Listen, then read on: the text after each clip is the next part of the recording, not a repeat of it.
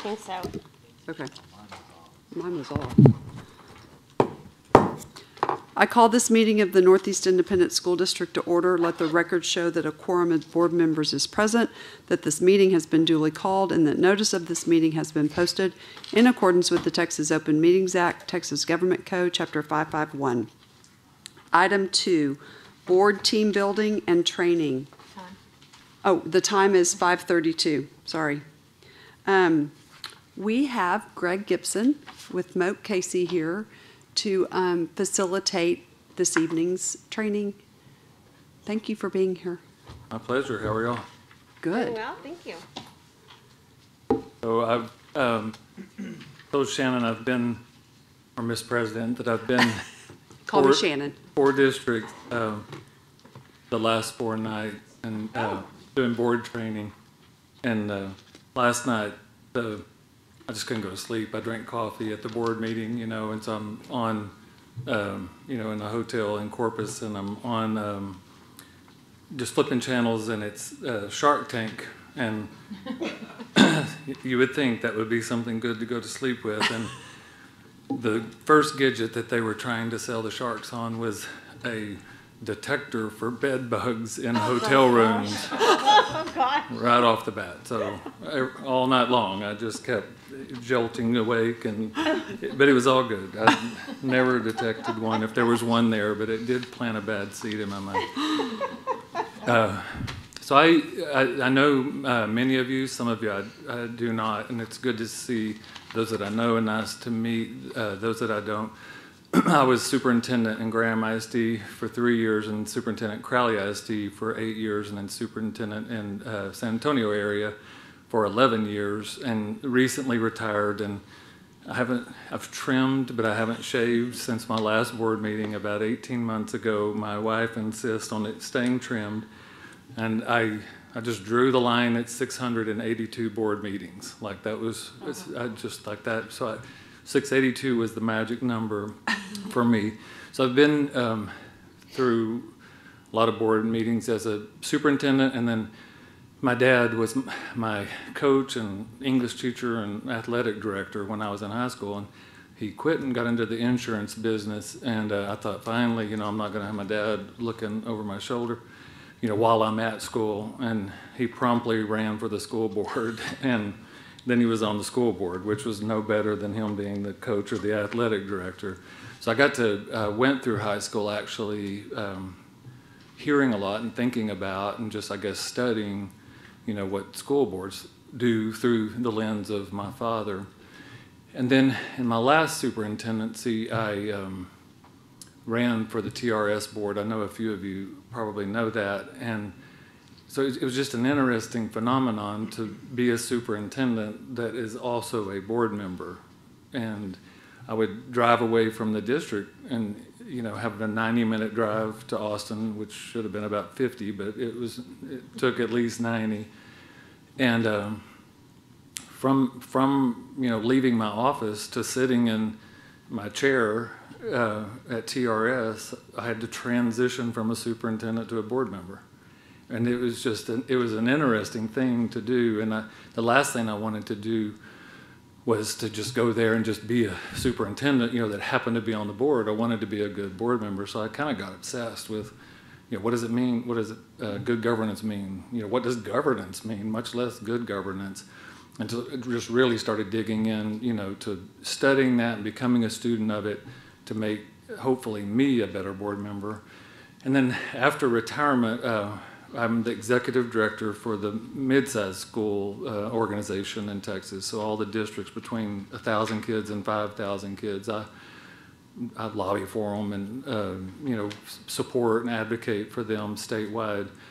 And I'd asked uh, Moak Casey, uh, whom y'all see their uh, logo on your packet, that if they could help me, or if they could help uh, create a model for uh, board good governance training and strategic, you know, planning for these mid-sized schools, and they, they said, "Oh, that's a great idea." I thought it was just going to be over at that, and then later I would just be passing out their cards. But it turned out to be, "You're now a consultant for Moak Casey, and come help us write this." And then you but you don't have to do any training. You don't, you'll never have to travel. And, I and as I said, I'm four nights out from our place in Graham now. We just moved back to Graham where I'm from. Um, but I've, I find the work just really satisfying and really fun. And I guess just back to that initial, you know, becoming a board member and, you know, thinking about what it means to be a board member. So I thought this last year we would train, you know, 10 or 15 mid-sized schools and that'd be the end of it. And we've wound up training uh, somewhere around 60 or 70 um, this year. And then I think the reason I'm here is because I didn't know that several of them decided to present at TASB, which is great, you know, but I started getting text messages. You need to come to room E425. I forgot to tell you, you know, we're, you know, we're going to talk about you and in our board train, you know, in our board presentation. So I just started bouncing from room to room, and I, truthfully, our TAMS board meeting was over, and I was going to go get a cup of coffee and pile on one of those sofas and just do emails, you know, until the dinner that night. But it was real edifying, I think, to go in and hear, you know, those districts. And then I think two or three of y'all, you know, had attended some of those. And um, unbeknownst to me, they started saying my name. And uh, then they talked about something that I think is really important for us to kind of talk about as a kickoff to this.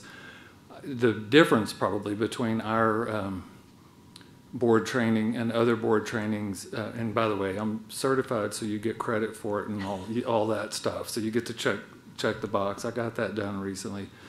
In, instead of um, me standing up here and discussing maybe the theory of it or you know talk a PowerPoint, we're clicking through what does it mean to be a good board member, we think it's more engaging and more authentic and a better approach for the trustees to go ahead and take a self, self-assessment. And it's almost active learning because we're going to debrief your assessment as we learn. And then that way it's not the theory of what it is. It's like we're actually uh, looking at your assessment, self-assessment.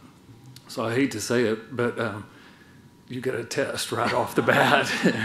and that's probably the negative part of this. However, uh, I think it's important that before I really dig into a lot of the information, that we take the self-assessment up front. And I know that feels a little bit odd, but it's about where you think, like your gut feeling right now, before I say too much, and then it might sway some of your responses, if that makes sense.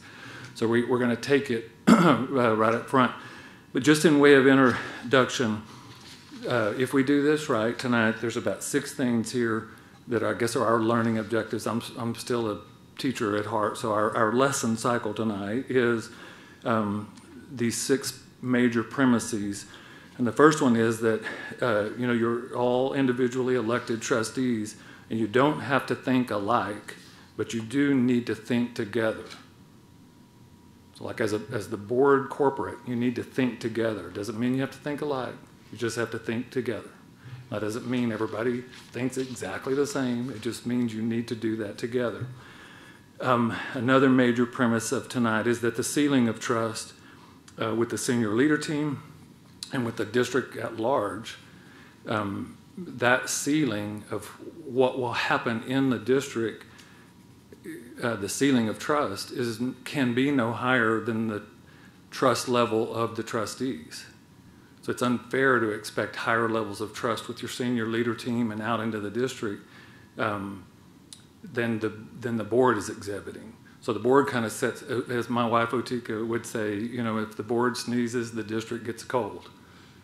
And I think that always stuck with me, you know. So, and she also said, if the superintendent sneezes, the district gets a cold. So, be a good boy today, you know, as I left home every morning. Uh, and, and, a third major premise, I probably said, should have said this before I said the one that I just said, but there's two big components to good governance. One is governance itself, and governance by definition is oversight of management. And see, that was the that was the flip I had to make, uh, or the switch I had to flip when I went from being a superintendent, and 60 minutes later I was a board member. I am now not management. I am overseeing management.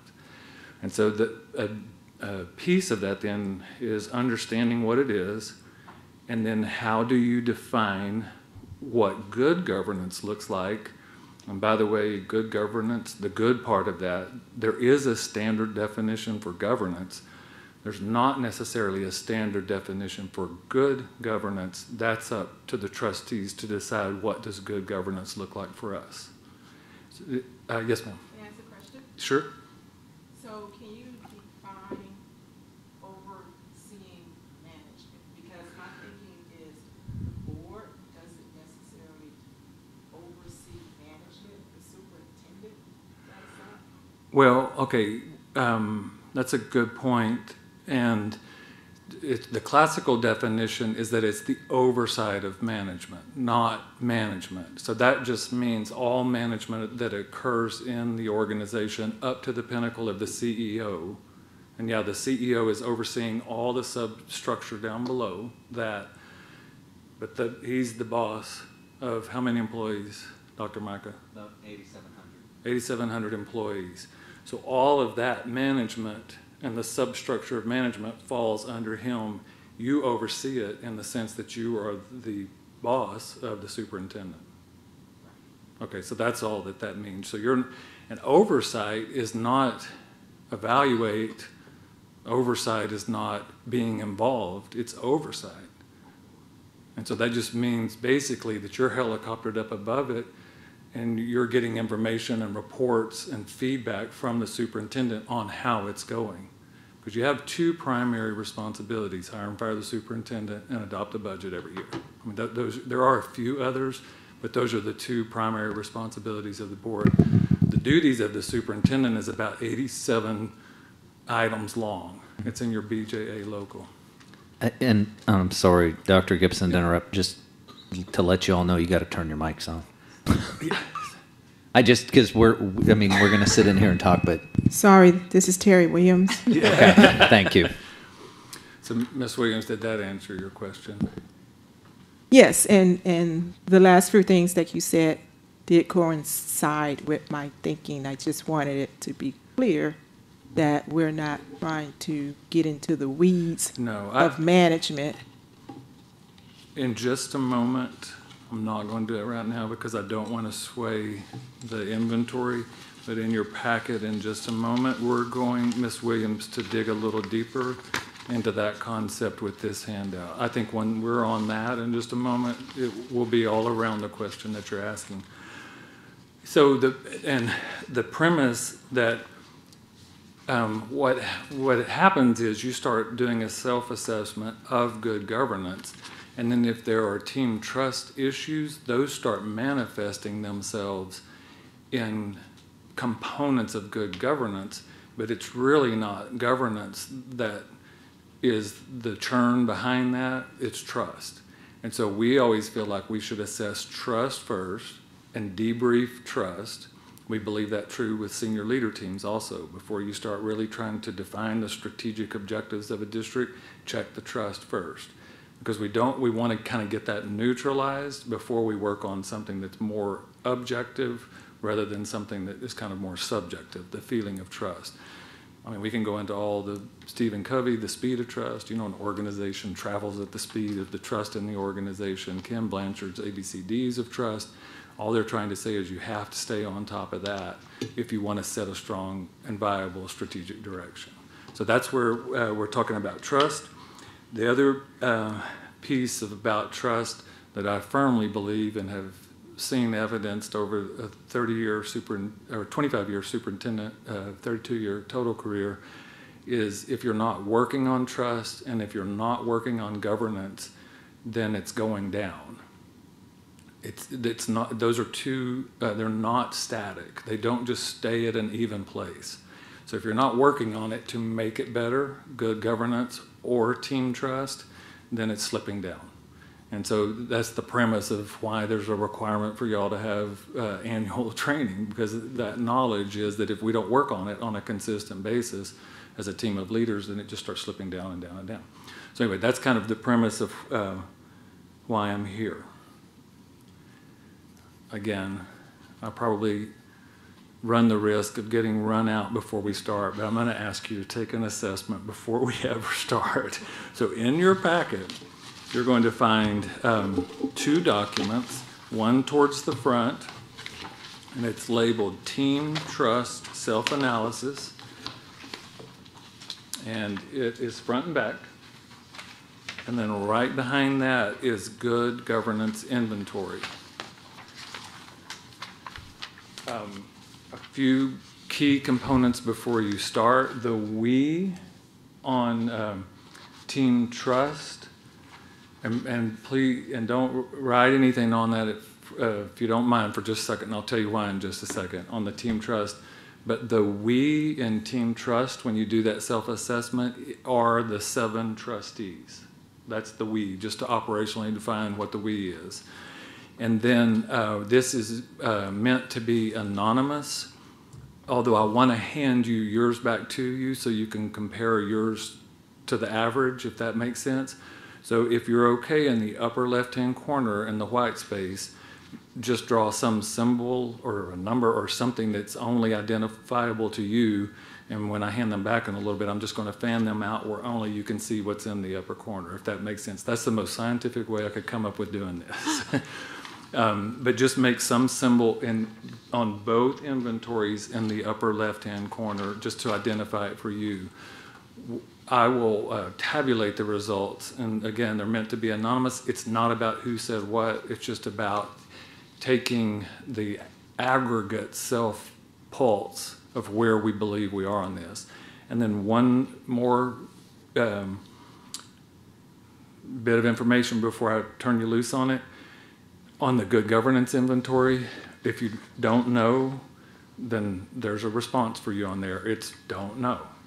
Okay, so that, there's your safety valve. Sometimes with new trustees, it's okay to put don't know. That's, in, so, and with those that are not um, new trustees, it's okay to say don't know. You know, don't try to make it look like, you know, you know something that you don't know. It's a, it's a more accurate read if we know what you don't know. And then, of course, the other is a five-point Likert scale. So if you aren't feeling strong feelings one way or the other, just go, you know, with the middle. Fair enough? Five minutes to maybe just do a gut check on those, and we're going to collect those, and then we're going to talk about Ms. Williams' question. I'm s- I'm sorry, I have one more question. Yes, ma'am. On, on the good governance inventory, Yes, ma'am. question 1.2, I'm assuming Sorry. BMV stands for belief, mission, and vision. Is Yes, that you're correct? correct. I'm Okay. sorry, we meant to spell that out and take all the acronyms out. Thank you. But it's belief, mission, and vision. You're 100% correct.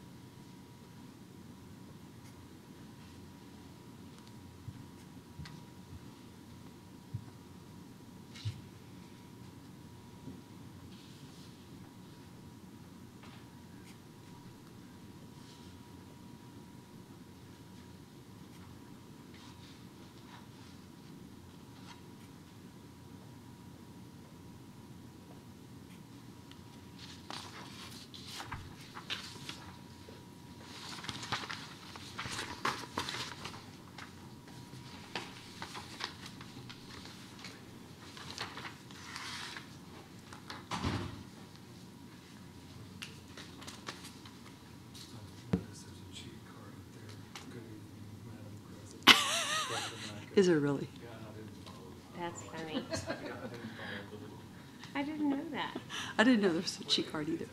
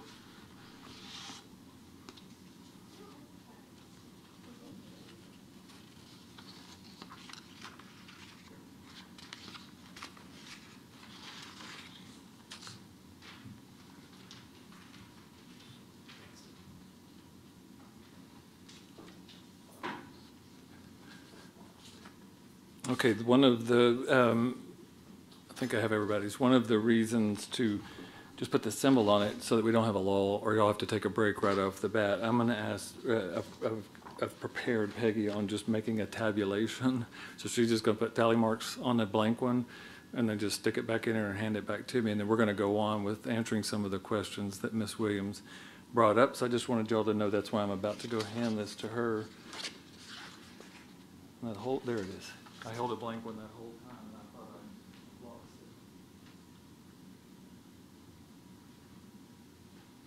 it. And I apologize, I told the board president, right here is a little notice to tell you what to say when you approach the podium. Good afternoon, Madam President, board members, Dr. Maika, executive staff, and guests.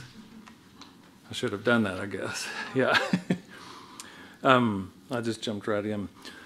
So we're going to go through the packet of information for just a little bit, and it gets to some of the things that Ms. William uh, um, questioned and, and, and or brought up, and then um, just have a conversation, maybe 20, uh, I'm sorry, just, uh, actually, let me back up.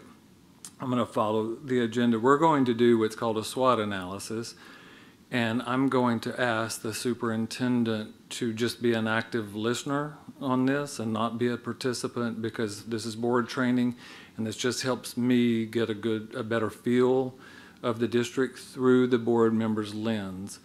And um, I, you know, probably the biggest challenge for you is SWOT is strength, weakness, opportunity, threat. Some of you are probably familiar with it and probably have utilized the SWOT I, you know, for 15 or 20 years, it's just when groups get together that, you know, I'm working with, you do a SWOT. Every single time I think this is the one time that it's not going to reveal something we didn't know, and then it reveals something that we didn't know. Uh, it also back, harkening back to the first comment, you know, it's not, uh, that you have to think alike. It's just that you have to think ag- together. And so this is kind of a, a, a activity or a process of thinking together. So everybody's really likes to do strengths, and I've, I've I got a brand new notepad I can write as long as you want me to. But just, we're gonna we're gonna switch in just a moment to weaknesses, and that, sometimes it, it, maybe it's easier to think about weaknesses in the terms of what's an opportunity for improvement. You know, I, I, I just I like you know, and we all have opportunities for improvement. Uh, we call them OFIs at my house, an Otika opportunity for improvement. So, and Otika, you know, says she wants to get a shirt that says "I'm with OFI," you know, with a finger pointing to me when we walk around. And, but in any organization and in any relationship, there's always opportunities for improvement. It's going to be a little bit weird, but I'm going to turn right around and ask for opportunities. And opportunities are different than opportunities for improvement. Um, it's just is there something that's just that's just this close, that's just low hanging fruit out there that Northeast ISD could get a hold of, and you know it might improve something. That's that's the definition of an opportunity. And then I might ask Dr. Maika on the last one, threat. Uh, but if you'll wait, if you don't mind, sir, until after they've thought about the threats, because you you probably do have threats, and that operational definition of threat is is there something out there that's looming that, if left unaddressed, could change dramatically how we do business. You know, that's what. And so I was in a district last night that had. Uh, over 50% of their enrollment was transfer. So like open, open, okay, so guess what the first threat immediately was? If those 50% of the kids are gone next year, it's over. You know, like we, you know, we got to let go of half of our staff. So that, I'm just giving you an example of a threat. And, and they didn't come up with another one. That was their threat, and that makes sense. So, um, again, I've asked Dr. Maika to just, you know, be a good listener and just maybe make some notes, but this is the opportunity for the board to talk. So what are the strengths of Northeast ISD? I know I, I made you take a test and now I'm making you talk right here, right off the bat. Leadership. Leadership. Uh, I mean, Dr. Dr. Micah, our superintendent. I think he's a strength so I'm going to say leadership all the way to the top. all the way to the top. Is that what you're saying? I don't want Yes, to put sir. words in your mouth. Okay. That is fine. Yes, sir. All right. Transparency. transparency. And again, and I am not going to um, make a value. I'm going to do my best to not make a value statement of each one of them. I'm just going to record them. So don't take that as lack of interest. I just don't want to make a value statement on them until we've collected them all. So leadership all the way to the top and transparency. Other strengths Adaptability. adaptability. We learned a little about that this past year and a half.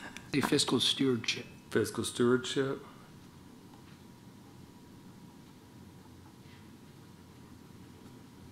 Our magnet programs. Awesome. Magnet programs.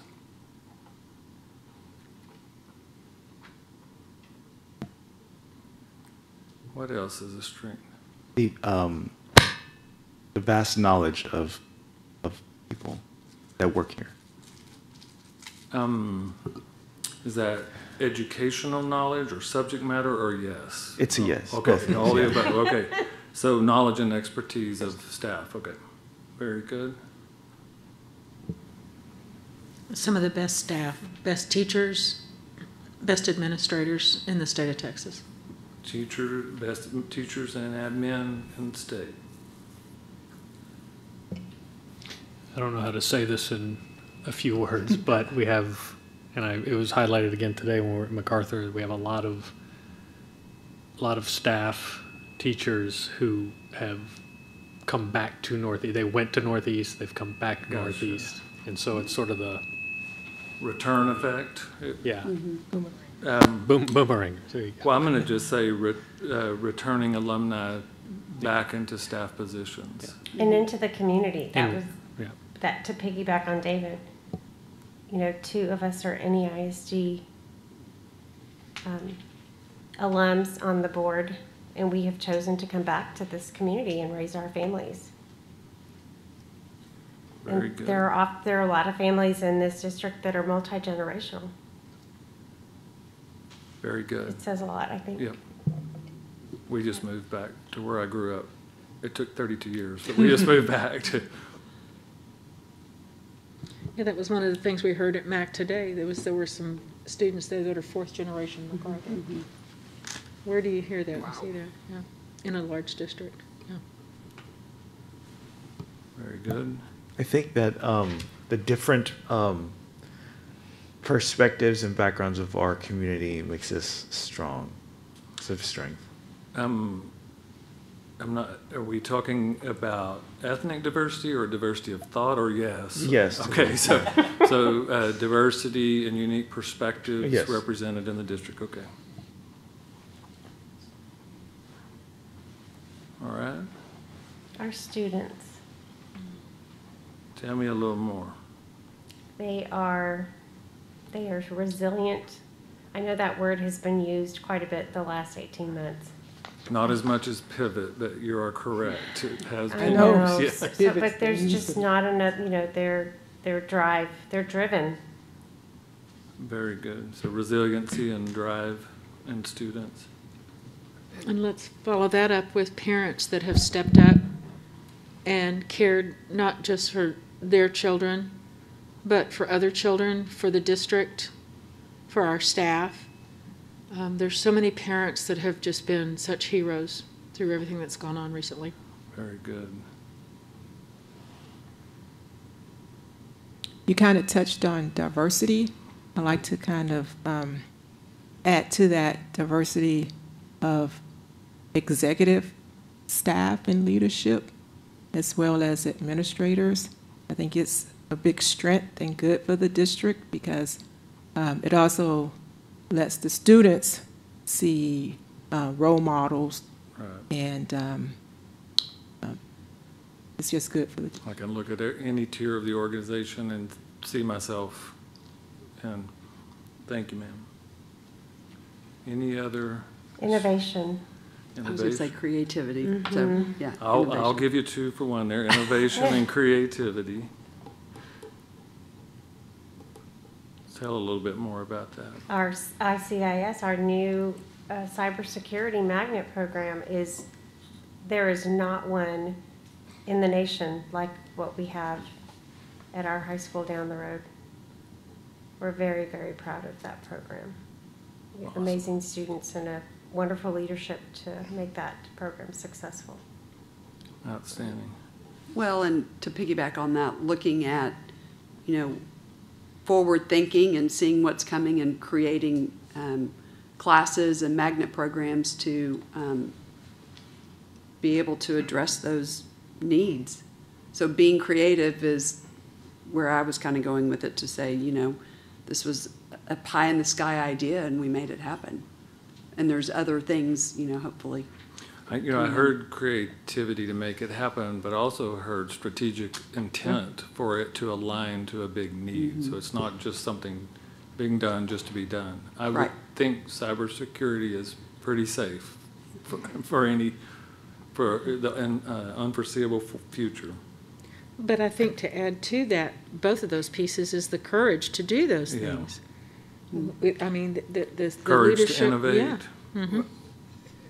And I would piggyback the, we have the students, our kids have lots of talents, and the district has provided the opportunities through the magnet programs, other things, whether it be the performing arts, um, you know, ISA, ISCI, all those things lets them maximize their potential, whatever their God-given abilities are. And so by providing those opportunities and programs, we're providing it as a destination for many families across the community to come say, hey, I kid can do that, or they can go do the KSAT program at Kruger, whatever their talents and skills are, we give those opportunities to them.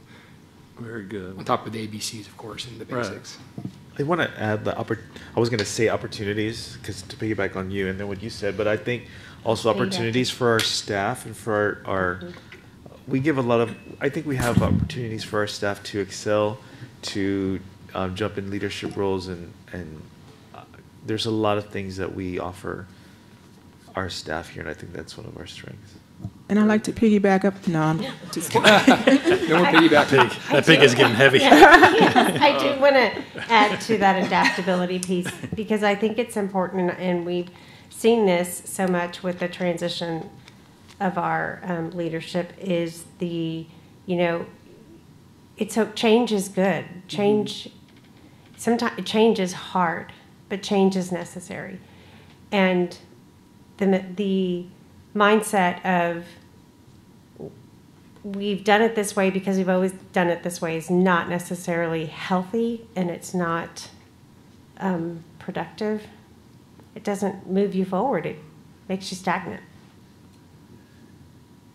All right. Any other? All right, thank you all for sharing, and I'm, I am glad I got a brand-new notepad. Wait, one more enchilada Wednesday. Enchilada Wednesday. Our Okay, cafeteria, our nutrition, um, I'm being honest, I just threw in the enchilada Wednesday, but our nutrition department is amazing. There are many hands and big Well, hearts, Yeah. hard and- workers. And going with that, y- y- we've seen so much of that in these last couple of years, the nutrition, the transportation, our custodial staff. Yes. Oh my gosh, what Our they have support. done. Um, the librarians, the counselors and nurses, the way that they have stepped up these last, it's just s- astonishing, it's gratifying, it's, it's, It makes you proud. yeah, yeah. It is truly one of the, the biggest strengths, outstanding. yeah. Okay, we're going um, to pivot to opportunities for improvement.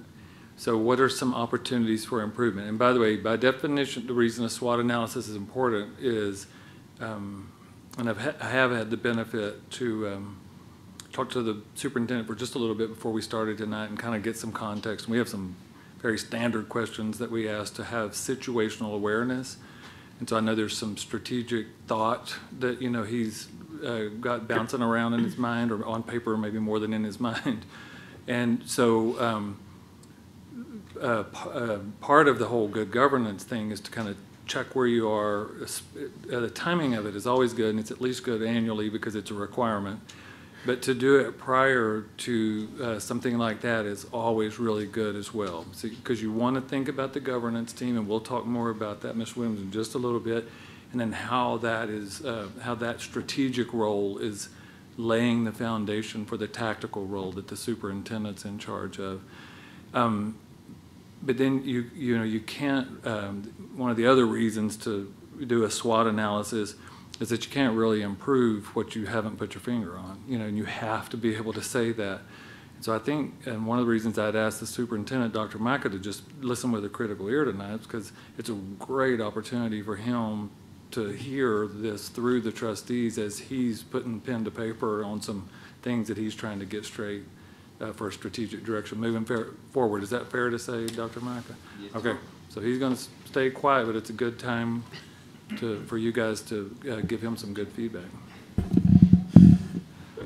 as a new trustee, one thing that I would have found helpful, and I saw some of my TASB training, was a strategic calendar, because I know a lot of people here know but like that lays out, we've got TAPR coming due, CBAC report, the bilingual, um, budget's pretty obvious stuff now, I've learned that, but it also that we could share with the community, because there's a battle rhythm, uh, um, that I think is something that may be useful because it keeps us on track as a board.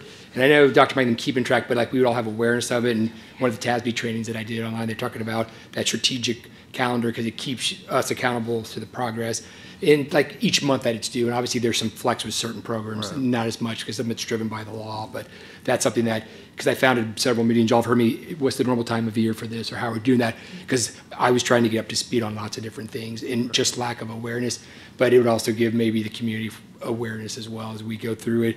And the staff, it just gets everybody on that same sheet of music. Oh yeah, we got that coming up. Oh yeah, I got to think about a nominee for whatever it is. So that's just a thought. All right. Um, as one area of possible further enhancing stuff. I mean, everything goes well, but just make it cleaner and process driven five, ten years from now for the long term. Gotcha, thank you, sir. Other opportunities for improvement? I would say, uh, pretty broad, but community engagement. Okay. You mind And that- talking a little bit more?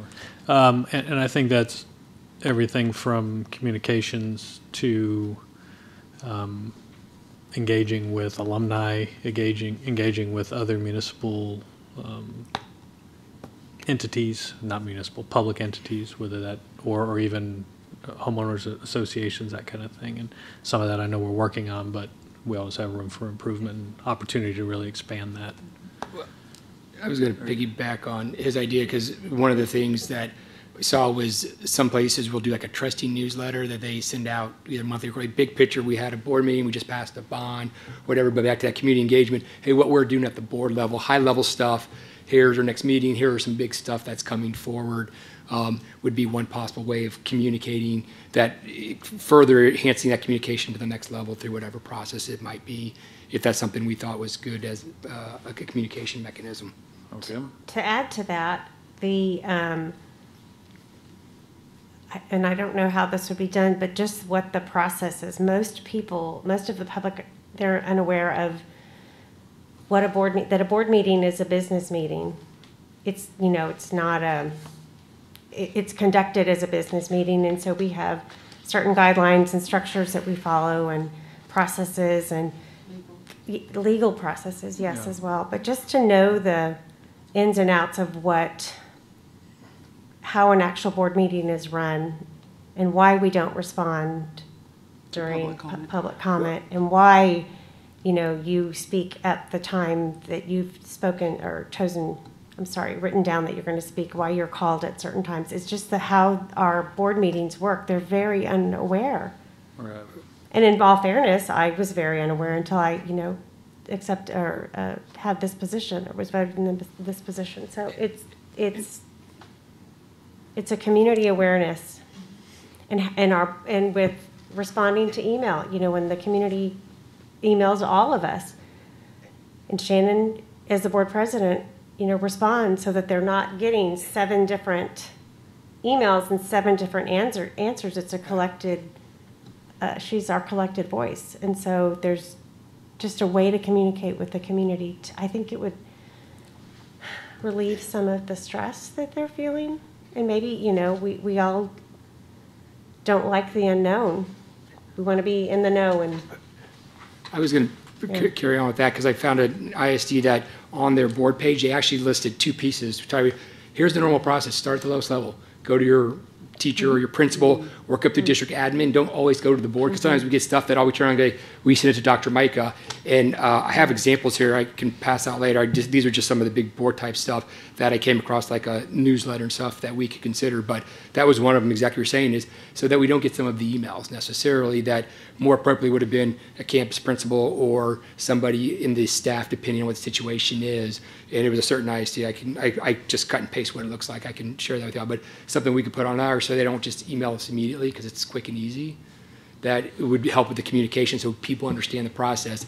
And then at the bottom, you talk about, you know, the respect, respect at a board meeting, the dialogue piece as well, so that people understand what's going on. We could tailor to what we believe is best for our district. And that's on their board page? It's on their, it's on their mm-hmm. trustee board page. I got copies. I could hand this up. I didn't know the process of that and later, but it was just, these are just examples that we can decide if, as a board, we want to do stuff like this, if it works for us or not. But I thought it was very clean. Step one, two, three, four, and five. Well, because to Sandy's point, you know, I'm sitting here thinking, okay, that's a great idea, but how are you going to communicate that? I mean, it's not like you're going to. Yeah, it was at least before you get to the board email, it's at the top of their board. And I'll, I'll hand everyone copies if they want. Is that okay if I hand, I mean, I Well, don't know. We can wait. You We wait can till do you- that. Yeah, Yeah, yeah. But this is just an example, but it's like step one through five, and the last one is email the board at any ISD. Yeah. I, I think that's a really good point too, because like Shannon responded personally to over a thousand emails last month, or two months ago. And I know that that was a, a heavy burden on her, but at the same time, I really, I really like the idea of, of some idea of how the community can, a, a step, a step-by-step process, but I don't ever want to take away their feeling that they can email the board at any given time. Um, Sure. but, but, but that piece of it, though, is the understanding that we have designated Shannon to respond to our emails that come as a group. Um, But I, th- I think too, the, it's, it's not only just how a board meeting is run, but what the board can and cannot do. I think there's a lot of misinformation, mis, misunderstanding, and again, like you said, when you're, not part of this, you don't know what the board can and cannot do. So that, that's another piece of that communications, I think, that we need to work on. And the last piece I would talk to communication is, I found if we considered putting not just the action and consent items, but all the slides, because I found a lot of times I'll get our initial package, and then I look at the briefing slides, it answers most of our questions, and we know there have been times when members of the community come up here, they want to speak matters from the floor, they have seen the presentation, and the presentation answers most of the questions, if not all the questions that are frequently mentioned by people. So I don't know if that's something we'd want to consider also doing is posting the briefings, pre-decisional draft, because obviously until we take action as a board, they're not, but what the staff is, those big ones, because I think it answers so many questions, at least it does for me, as I'm reviewing it over the weekend usually, because we have our Monday meetings. But something else to further communicate with the community so they know exactly what we're looking at, because obviously the staff does a good job preparing stuff most of the time. There might be some changes, but um, just something to talk about and maybe see if that's something we want to consider to further um, help the process in communicating with the community and parents and staff and whoever may be interested in looking at that stuff. Don't know. Okay. I think another opportunity we have in this district is to um, expand on our student voice program we have and, and, and get that to where um, those students feel, not just that group of students, but all students feel, that's a pretty lofty goal, but all students feel heard. Um, and I think a lot of that, the explanation of that is, I think, over the last year, there's a lot of students who have felt that decisions are being made and they're just sort of being thrown in the mix on a lot of things. And hearing that from my own kids, um, it's, it's, I should have mentioned this up front, but I guess part of my pedigree with this was being a national Baldrige examiner um, for about 15 years between Crowley and Church. And so, you know, when, when I hear that, it's, it's either VOC or VOS. And so VOC is voice of um, staff, and, or VOS is voice of staff, and VOC is voice of customer. So I, the, the statement in Baldrige terms was if it falls in the category of VOC or VO, VOC or uh, VOS, it's correct. yeah.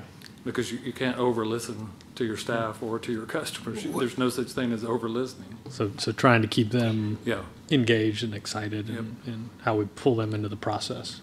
You make a great idea. Maybe, and I don't know if we, how we would set this up, but doing some sort of, I'd call it trustee listening sessions at campuses, like, you know, two or three trustees obviously have to watch the quorum, but we got to listen to the community members. and We set it up, you know, a couple neighboring clusters where we go once a quarter and just listen to the staff or the students, get feedback. And we can also provide them information like 85% of the budget we know goes towards the teacher, staffing, the medical, all that stuff. It's fixed.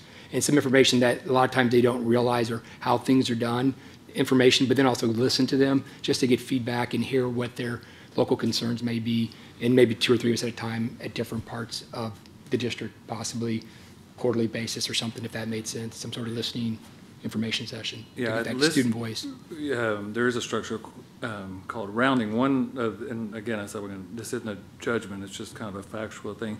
One of the cautions with that is that um, listening is one thing. If an individual trustee just inadvertently uh, offers a correction to some issue that's brought up, they've just broken state law. Yeah. Okay. Because they're, they're, the only place that a trustee can make a recommendation is to the trustee in a duly called meeting with a quorum present. But- So that, you just have to, it's, it's a, you can do it, but it's a needle to thread. Yeah. And Okay, it that has may to- be, Yeah, that, I would We- that might get a little too, Too- too involved at the campus level, Okay. but, but through staff and, and the administration, I- I don't know what that looks like. Anyway, the Well, I- opportunity is to really try to pull them in. Brower. I think what, and, I- and I, I know Dr. Maika is doing very well, just listening and, you know, with a critical ear.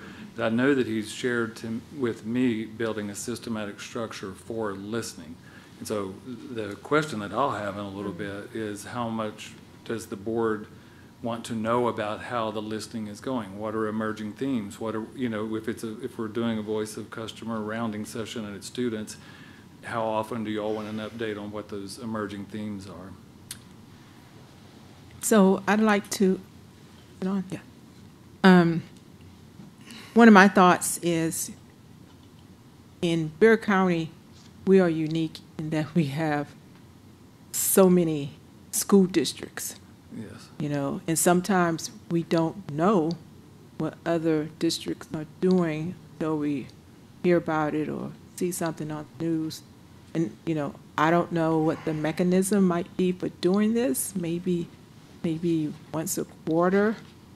I'd like to see if maybe we can, I don't know, convene some type of meeting with other board members, just an informal type of sharing best practices, uh, or just information share. Gotcha. Okay. One thought I shared with Dr. Maika this summer, but we've had a lot of challenges, was the systematic and like, I'll call it strategic review of all of the board level policies. One of the things where we start looking at them to make us more informed, because there's tons of policies out there. But we look at every couple, every meeting, and then we just make sure they're updated, have some sort of way to track, hey, last time we reviewed it, because some policies may be old, but they don't need to be updated. But it makes us more aware, and it's that systematic building for the long-term process-driven type thing. Um, we do a couple of each meeting, most of them won't need changes, and maybe build that process as a possible option to keep us up at that board higher oversight level, make sure we have the right policies in place for Dr. Maika and the staff to go do the actual management piece and make us aware of what's out there type stuff, Okay. maybe. And I, d- I don't work for TASB, and I'm not plugging TASB, but they do offer that service. I'm just, uh, it is a systematic policy analysis. It's a pretty big undertaking.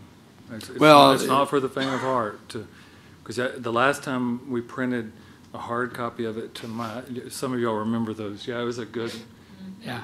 approaching six or, at least six or seven or eight inches before it all went online.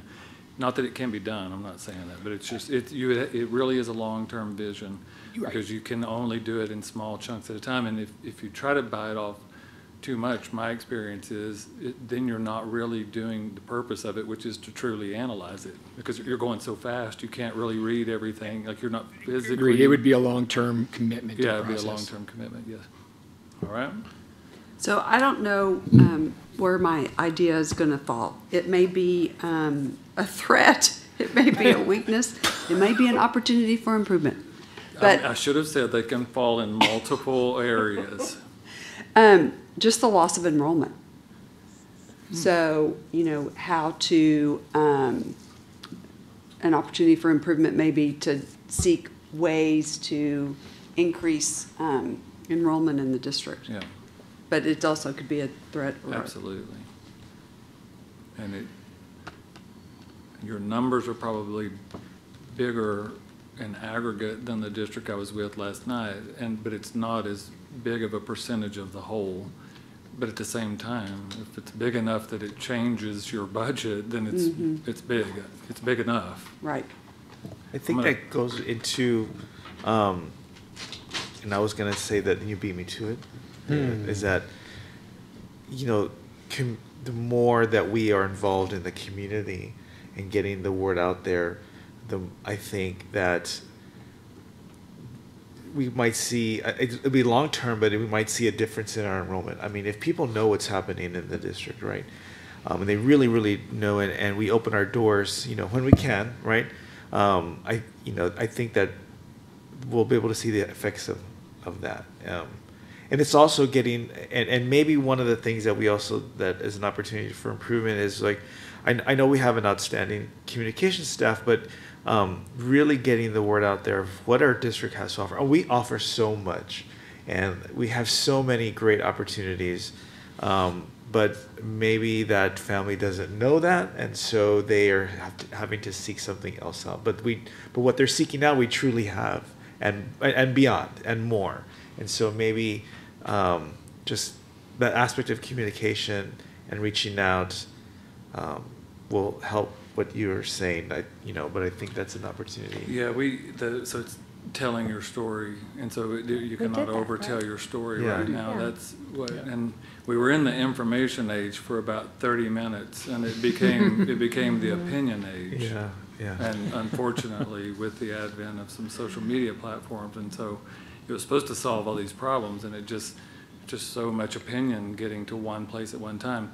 So t- to your point, I mean, you can't overtell your story Yeah. when all of that other opinion that, and rarely I don't know, we're post-enlightenment, and that frustrates me. You know, the age of enlightenment's over. This, this will be renamed. I don't know if, historians will rename where we are right now. It will be, That will be interesting. it will be interesting to know what they name it, I, because yeah. that's. Okay, so I have one that I kind of think is in line with all of this. It's the communication of what is happening in the state that affects public Okay. education. So Telling, not just telling your story. we need to tell the story public- to our public public, to our community, what is happening on the state level that affects our enrollment, that affects our teachers, and affects our students. And that is the public education story in addition to the Northeast ISD story. We have amazing groups in- within our district, um, rooted, that tell, you know, that does that and tells the story. Go public. We, we have these organizations that are helping to tell that story, but we need to tell it on our end of, you know, Dr. Maika, the, a great example is the recognition of how they are using our test scores in the new rating system. And, you know, it's, it's pretty easy to read between the lines if you've been um, in this position for four years. Well, Dr. Maika has been in education for a very long time, so he's a speed reader. And I, um, I think we need to tell that story. Absolutely do. Um, and the following does not reflect the views of Moak Casey and Associates. this is Greg Gibson.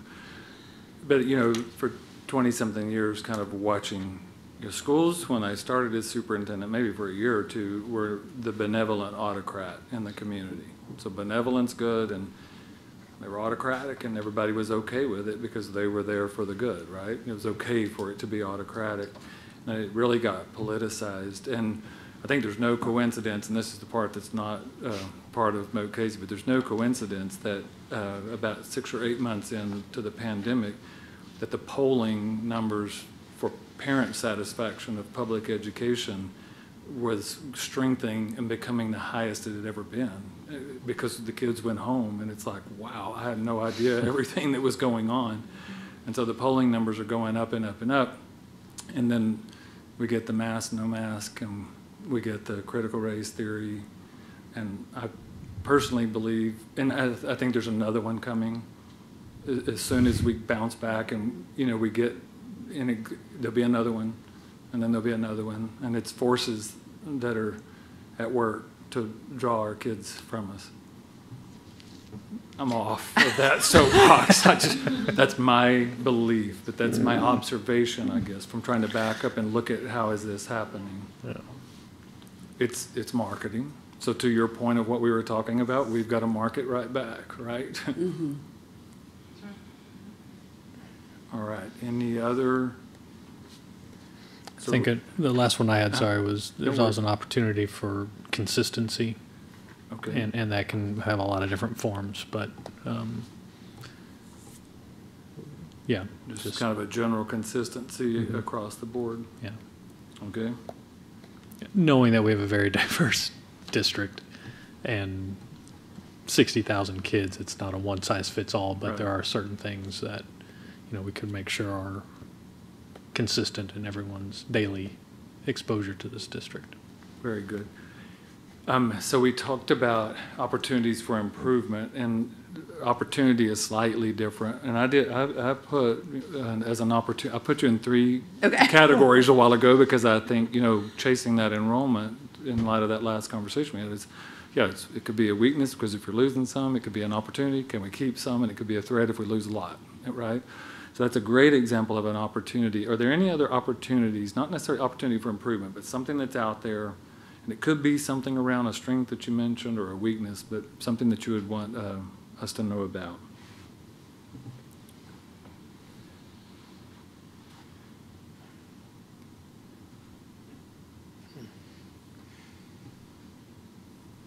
Well, maybe an opportunity for, to look at more um, magnet programs. Okay. And I'm going to just put that as a sub-bullet under your other one. Okay. Because that's what you're saying, right? To hold enrollment in? Is that, or do you want those to be bifurcated, or are you okay with them being coupled? It can be coupled. Okay. All right.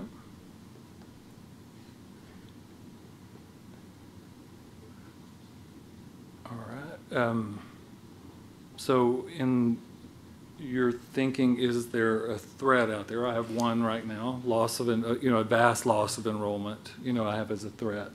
Are there any other threats out there that you? want- Magnet, uh, not magnet, charter schools. Yeah, yes, ma'am. And that, earlier, my little tirade was around that.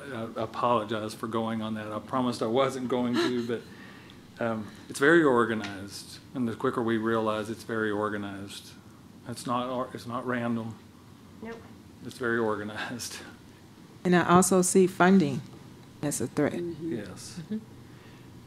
And, you know, we noted financial and physical stewardship as a strength, so I'm assuming you're talking about just the general constriction of funding statewide for traditional public ed? Excuse me. Um, yes, but, you know, also how, you know, our funding is tied to enrollment and it's, it's kind of all, you know, tied together. And sometimes there are some things we have no control over Right. as far as, you know, enrollment. Um, but we're still subject, or subjected, I should say, to, you know, whatever, um, whatever authority says, okay, well, now your funding's gonna cut because of this, that, and the other. You know, COVID is a fine, is an example. Right. So I'm just gonna put state funding instability, that- that would be a good description. because I think that's what it is. Any other threats? There's one, it's been, it's addressed, it's ongoing, but I think it'll be here with us forever, is the cybersecurity piece. We have a lot of people's data from employees to students, and every organization has that. I know there's lots of stuff in place, and we're constantly working to stay on the front end of it, but that's just an ongoing threat. Although we as, are addressing it, um, that's just a concern, because Yeah. in the digital age, there's so much information electronically stored, and we saw what happened to another ISD. Yeah, I just left one or, or last week that got held ransom. It was, it was devastating. I think there's another piece to communications too, and Dr. Gibson, you kind of touched on it a little bit earlier, and that's misinformation. Um, Yeah. I think that's been a big threat. Um, the, the, e- even if we, even if it, that no matter how hard our incredible communication team works to, to, to share what's really going on, the misinformation story often takes hold or takes over. I, I don't know what the answer to the threat is, but it is, it's, it's harming our students, it's harming our parents, it's harming our community. Our teachers. Yeah, Oh, oh Absolutely, yeah.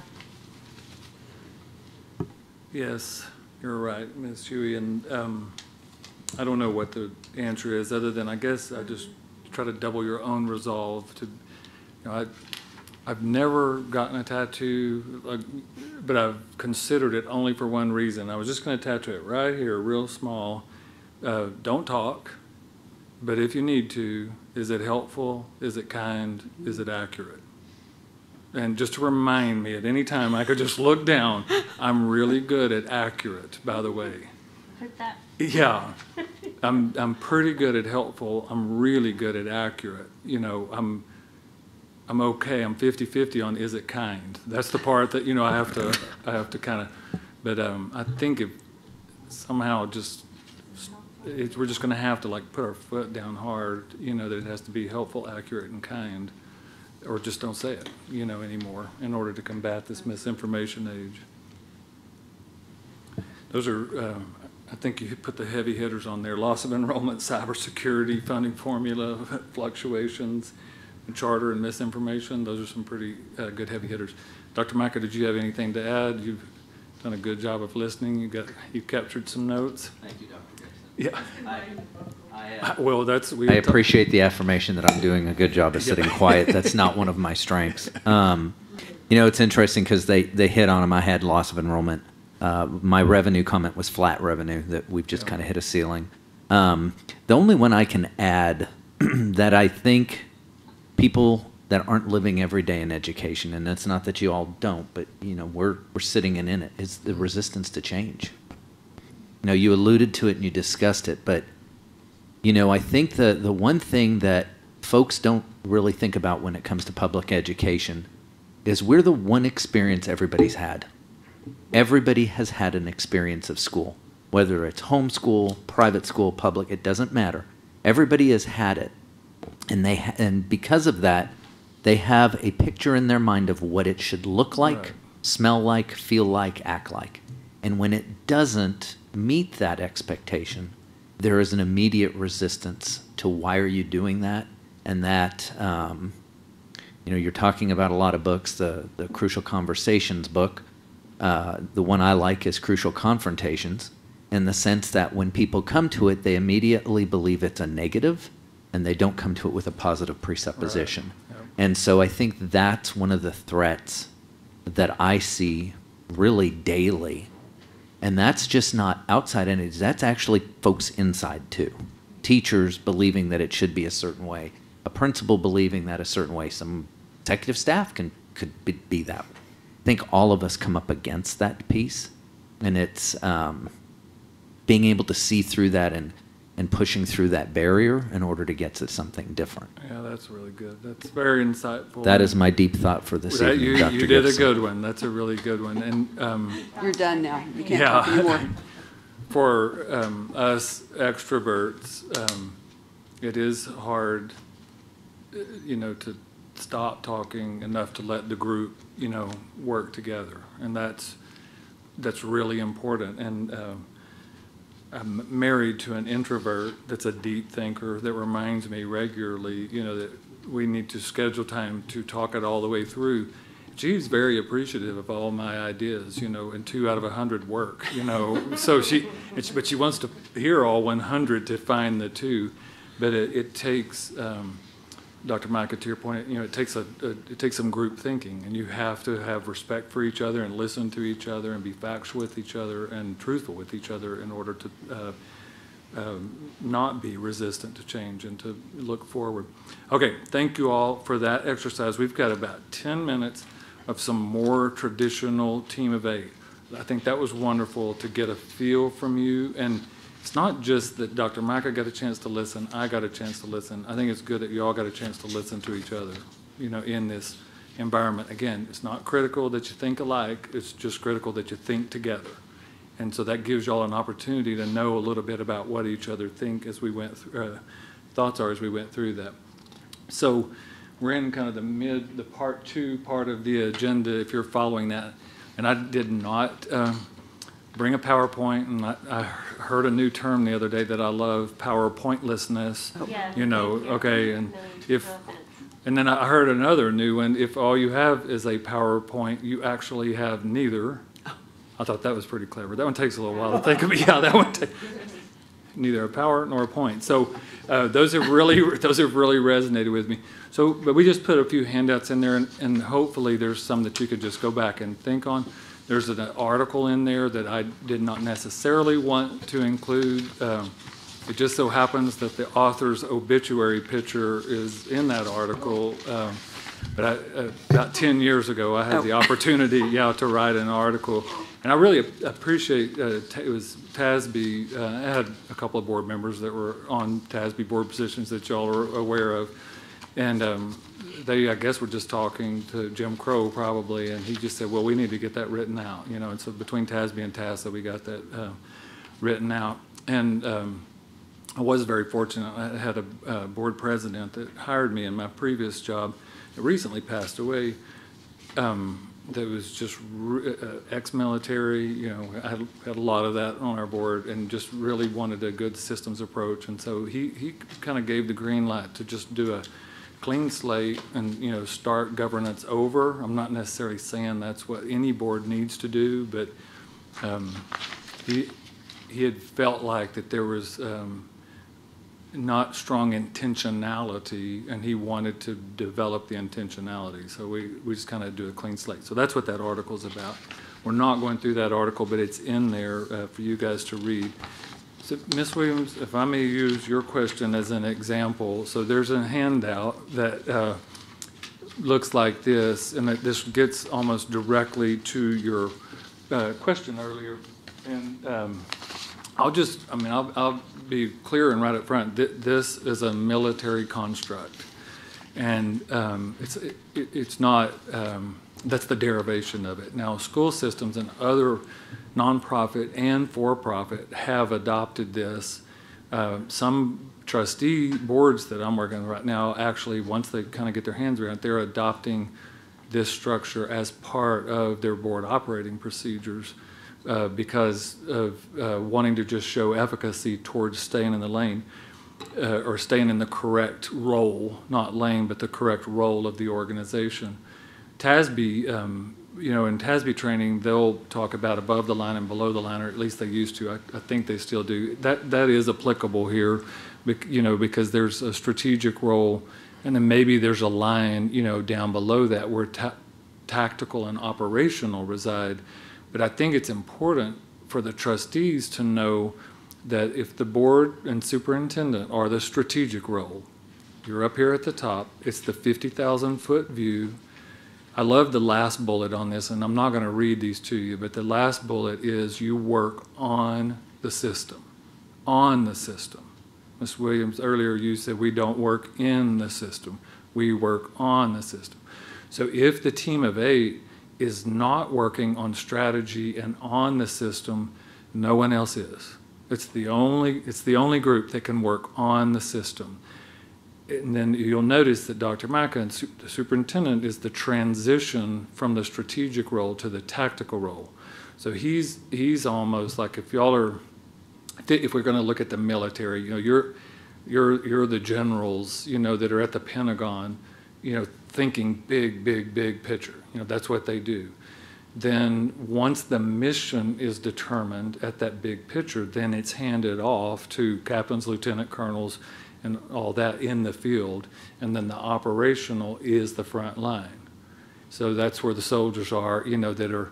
So if, if you, I love to think about this. So what, what if a general from the Pentagon just showed up in Kuwait in the bunker and started telling those people on, you know, that front line how to do what they're doing?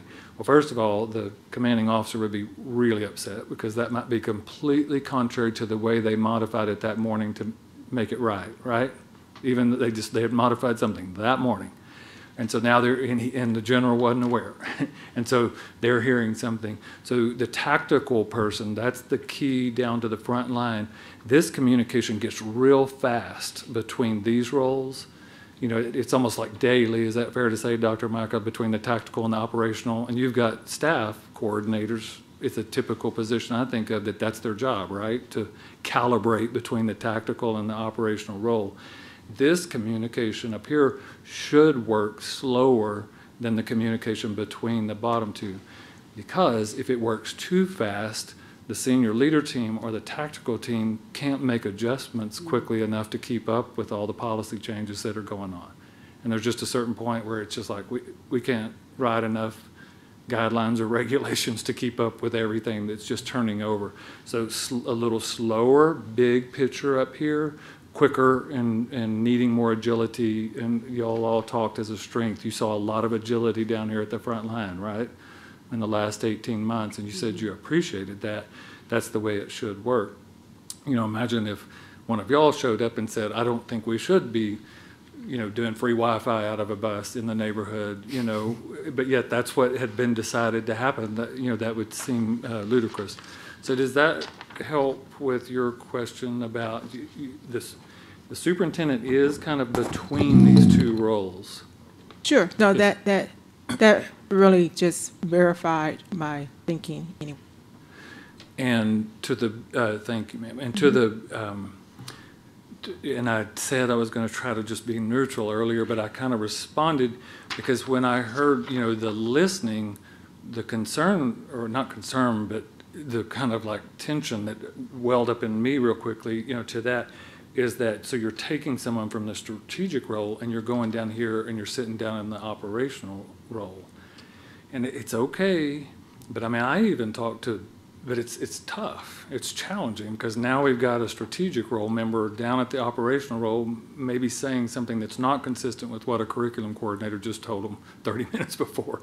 That's, this is the protocol that we're following because TEA changed some guideline.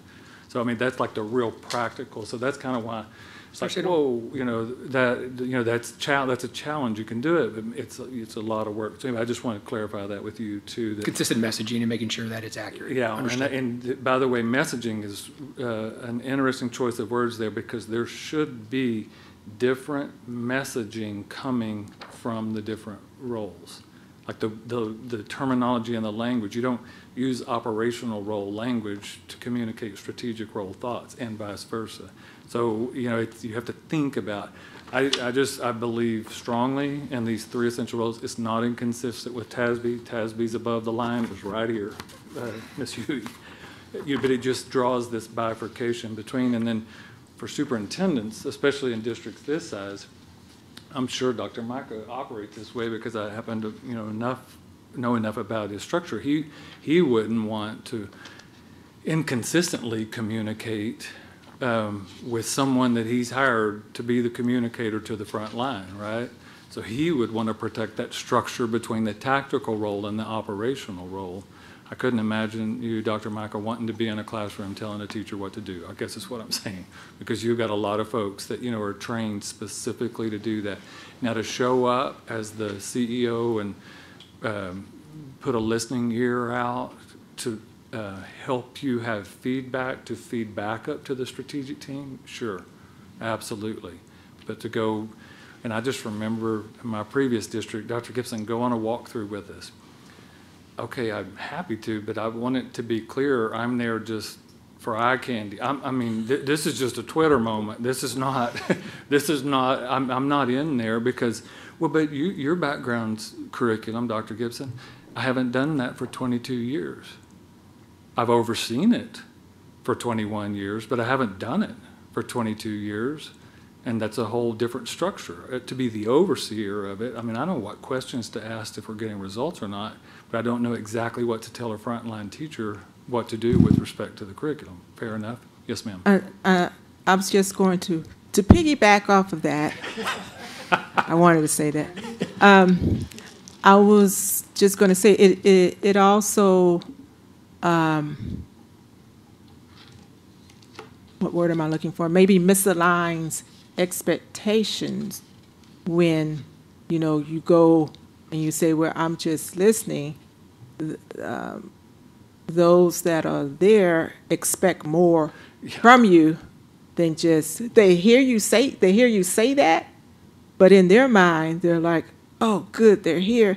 They're going to do something, mm-hmm. and I can ask them to do something. Yes. And it's like, no. Yes. And then, you know, when you don't, then, you know, they get disappointed because they didn't hear anything back from you.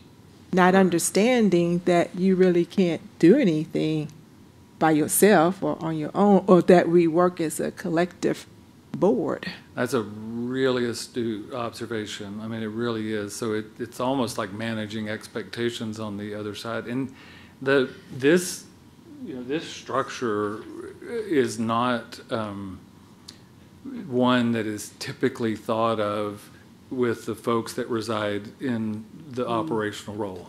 I mean, just plain and simple. It's just this, like, just to talk about this whole structure. And if you start into it, because I've tried before, it's like, I don't have time to do that. I'm teaching third graders how to read, you know, y'all figure all that out.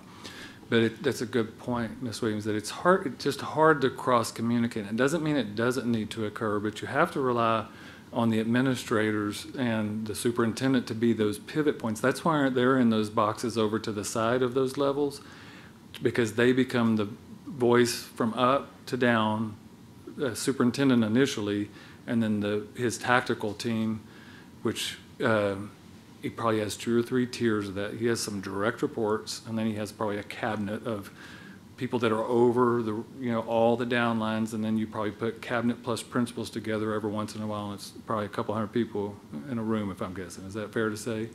So that, that communication, and I was in a district last night with 300 um, uh, staff members, and I was in a district Monday night with 300 students. Okay, if you follow, you know, so And they were talking about staying in their lane.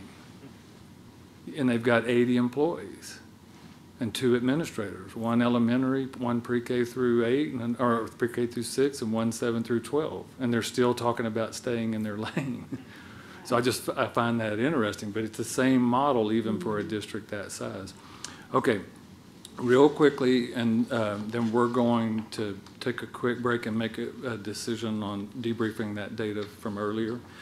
Um, I, I just was uh, listening to the superintendent the other day, and I'm holding up, and this model is one that we've used, it's a lining arrows model. And as I, as I heard him talking the other day to me during our intake, uh, which just is a short, quick meeting just to get a feel for uh, things before we come do training.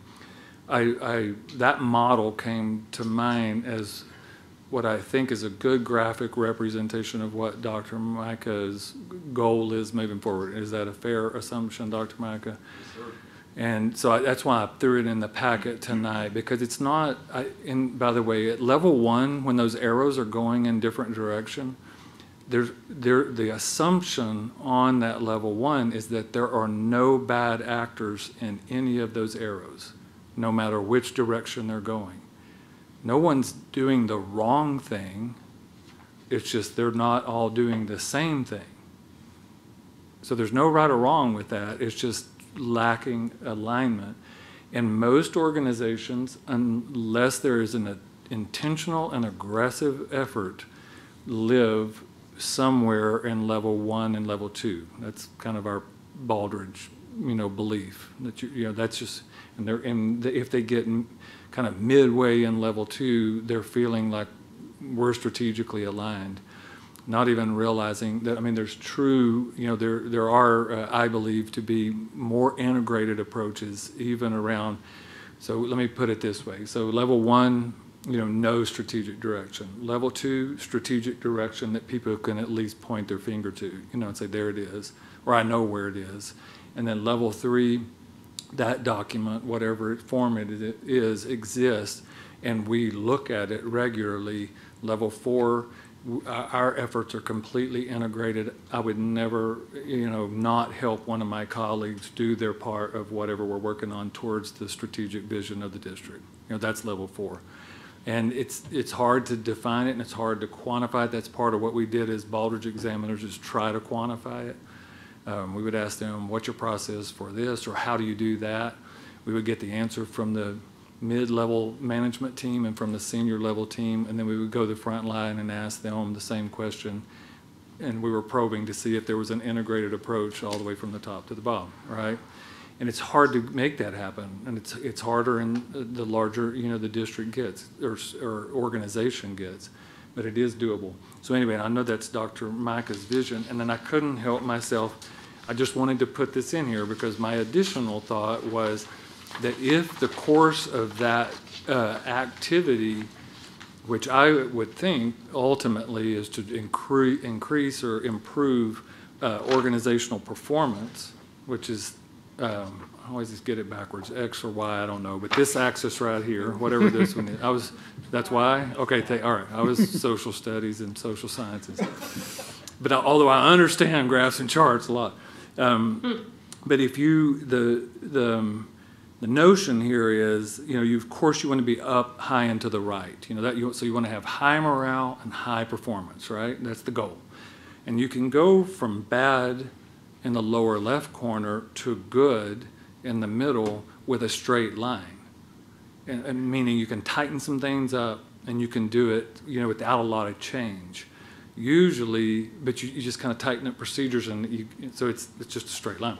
When you start trying to go from good to great, you have to make enough change usually when you do that that you can see potentially a slip. It doesn't have to be that way, but you've got to tweak some things enough. And you know, it's funny in surveys, 90% of people uh, appreciate and want change, and then only 20% of people want change to be done to them. to them. Change of stuff. So it- 90% want it, but only 20% are okay if it happens to them. So that's the incongruency that just makes this implementation dip happen. So it's just eyes wide open as you move forward. If, like if you're going to move something, just know that that C curve is always there. That, um, Dr.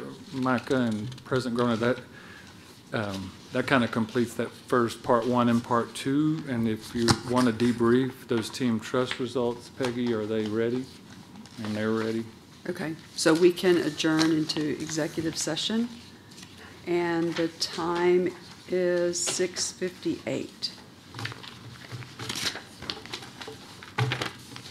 So we're gonna adjourn, um, item three, executive session, personnel pursuant to Government Code, section five-five-one point zero-seven-four, A, discussion regarding board evaluation and training related to performance of duties, and it was six fifty-eight. Okay, the board will now reconvene into open session. The time is eight ten, and the board will now, item five, adjourn at eight ten. Thank you all for being here.